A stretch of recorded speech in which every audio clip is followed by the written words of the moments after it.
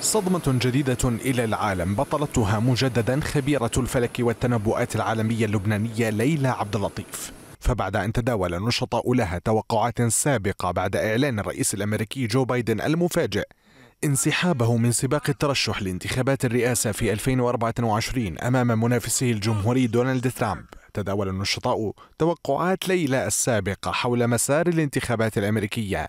إذ استبعدت في لقاءات تلفزيونية مطلع العام الجاري أن تستمر المنافسة بين ترامب وبايدن ورجحت أن من سيحكم أمريكا ستكون امرأة. ليلى حددت اسمين بارزين بشكل مباشر حول من ستكون الرئيسة الأمريكية القادمة. الأولى كامالا هاريس نائبة الرئيس الأمريكي الحالي جو بايدن. والثانية ميشيل أوباما زوجة الرئيس الأمريكي السابق باراك أوباما. مؤكدة أن إحدى السيدتين ستحكم الولايات المتحدة الأمريكية. توقعات تضاف إلى مسيرة توقعات عبد اللطيف التي تحقق كثير منها في أحداث جرت حول العالم. فهل ستتحقق؟ سيما أن هاريس حظيت باختيار بايدن بديلا لها في سباق الترشح.